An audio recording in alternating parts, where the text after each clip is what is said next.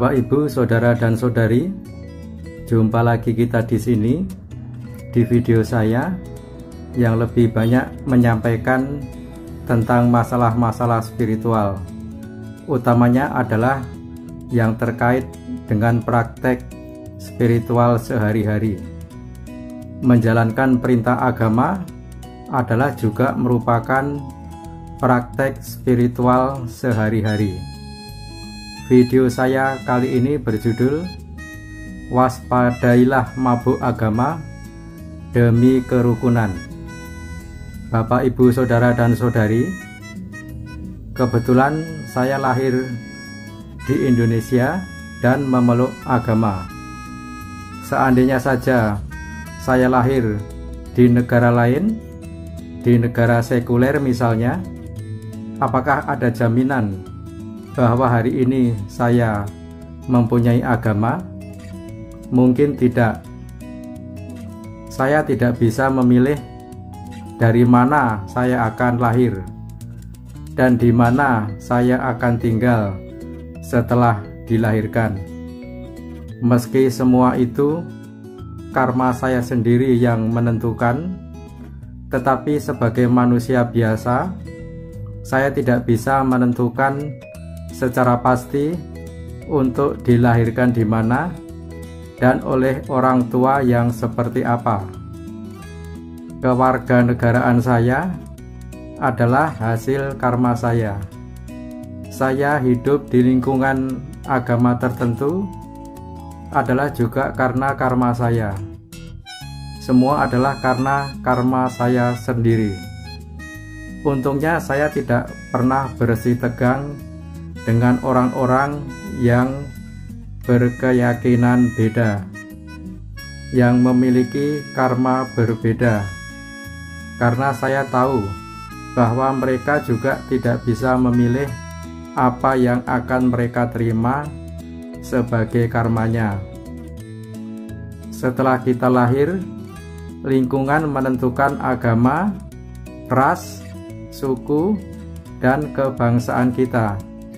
Setelah itu, ketika kita dewasa, tentunya kita akan membela segala hal yang kita sandang.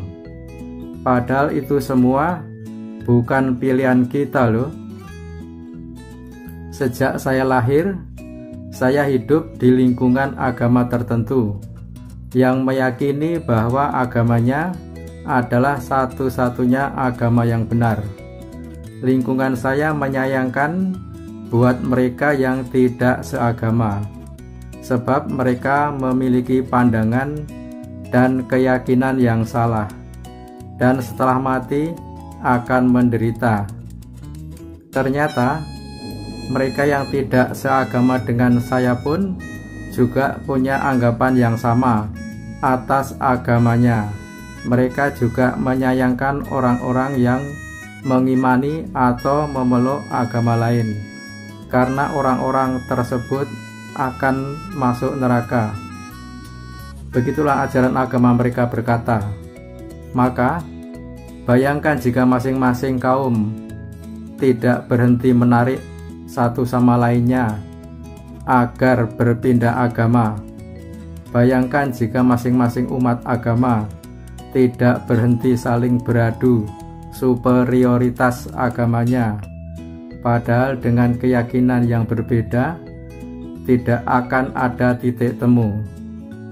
Bapak, Ibu, Saudara, dan Saudari, salah satu karakteristik umat beragama memang saling mengklaim kebenaran agamanya.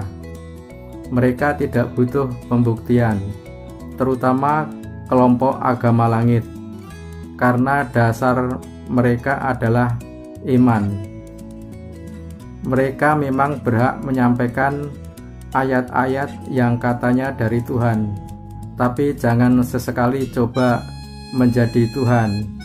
Usahlah melabeli orang akan masuk surga atau masuk neraka, sebab masing-masing kita belum bisa menjamin kebenaran pelabelan kita.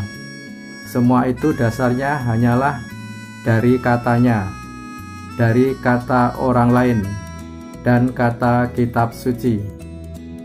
Bapak, Ibu, Saudara, dan Saudari, latar belakang dari semua perselisihan adalah karena masing-masing mengklaim kebenaran agama masing-masing. Pemeluk agama langit berkata, "Golonganku adalah yang terbaik karena Tuhan sendiri yang mengatakannya." Dan pemeluk agama langit ini meyakini kalau bukan Tuhan, Siapa lagi yang menciptakan para Muslim, Yahudi, Nasrani, Buddha, Hindu, Konghucu, Tao, dan bahkan ateis, dan memelihara keberadaan mereka semua sampai dengan hari ini. Sebagai catatan, berbeda dengan pemeluk agama bumi yang memahami bahwa Muslim, Yahudi, Nasrani, Buddha, Hindu, Konghucu, Tao, dan juga ateis itu ada karena dari sebab-sebab yang ada maka hukum alam menghasilkan adanya Muslim, Nasrani, Yahudi, Hindu, Buddha, Konghucu, Tao, dan juga ateis. Bapak, ibu, saudara, dan saudari, pemeluk agama langit tidak meragukan kekuasaan Tuhan.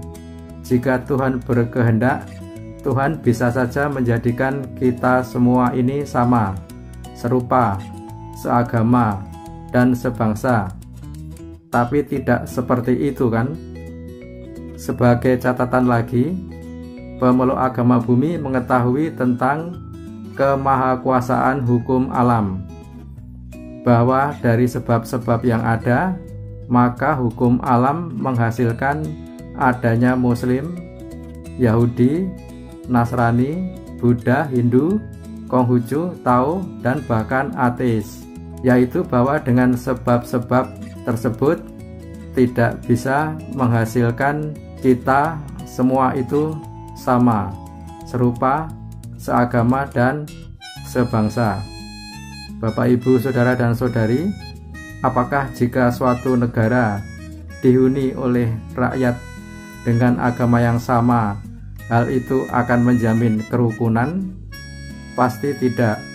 Pada kenyataannya, beberapa negara masih rusuh juga, padahal agama rakyatnya sama.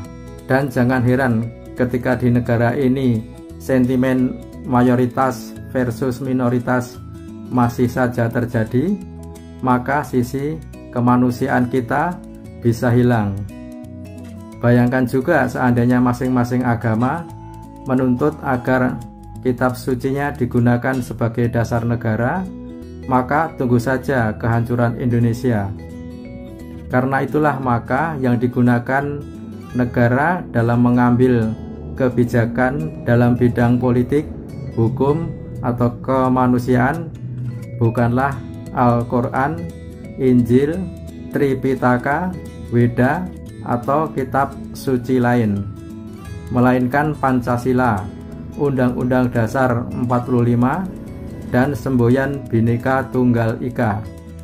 Dalam perspektif Pancasila, setiap pemeluk agama bebas meyakini dan menjalankan ajaran agamanya. Mereka tidak berhak memaksakan sudut pandang dan ajaran agamanya untuk ditempatkan sebagai tolok ukur penilaian terhadap pemeluk agama lain. Hanya karena merasa paling benar, umat agama tertentu tidak berhak mengintervensi kebijakan negara yang terdiri dari bermacam-macam keyakinan. Bapak, Ibu, Saudara, dan Saudari, dengan kondisi sekarang dan kondisi yang pernah terjadi, suatu hari di masa depan kita akan bercerita kepada anak cucu betapa negara ini nyaris tercerai-berai karena orang-orangnya saling mengunggulkan bahkan meributkan kebenaran agama masing-masing bahkan merambah dengan ganasnya sampai ke media sosial. Kondisi saat ini ketika negara lain sudah meluncurkan pesawat ke ruang angkasa, merancang teknologi yang memajukan peradaban, dan membentuk komando militer untuk menjaga kedaulatan negara dari angkasa luar, kita masih sibuk ribut soal kebenaran agama. Kita tidak mesti mabuk agama. Ya, kita tidak mesti mabuk agama. Harus berpikiran sama, tapi marilah kita sama-sama berpikir bahwa inti ajaran agama itu yang perlu diamalkan di dunia ini adalah kebaikan dan welas asih. Yang lain-lainnya yang berbeda adalah urusan masing-masing orang dengan Tuhannya atau urusan masing-masing orang dengan hukum karma atau hukum sebab akibat. Bapak, Ibu, Saudara, dan Saudari, demikianlah penyampaian singkat tentang waspadailah mabuk agama demi kerukunan. Kepada Bapak, Ibu, Saudara, dan Saudari, yang tidak sependapat atau tidak menyukai dengan yang saya sampaikan ini, mohon kiranya bisa mengabaikannya saja dan melupakannya. Anggaplah itu merupakan pengetahuan atau hak asasi dalam berpendapat. Kepada Bapak, Ibu, Saudara, dan Saudari, semua yang sudah menonton video ini sampai selesai, saya mengucapkan banyak terima kasih Semoga bermanfaat dan sampai jumpa lagi di video saya yang lain. Wassalam.